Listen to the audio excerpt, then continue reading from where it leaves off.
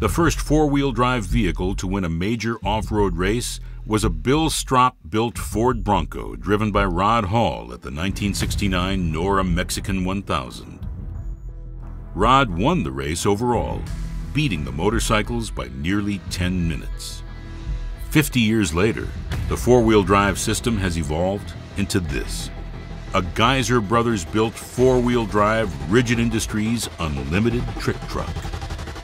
It's driven by the young off-road racer Justin Matney and has ushered in a new era of off-road evolution and ingenuity.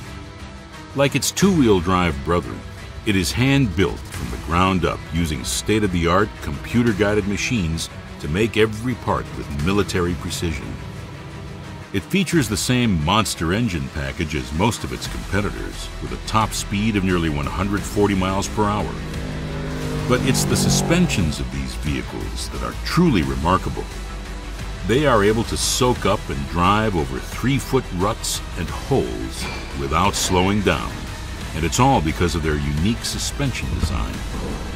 Combining the massive shocks on these trucks with four-wheel drive may prove to be the future for the sport of off-road desert racing. Four-wheel drive has been a part of off-road racing since its earliest days. But over the past 20 years, as the top unlimited trucks evolved, they became two-wheel drive demons predominantly, with vast amounts of rear-wheel drive power.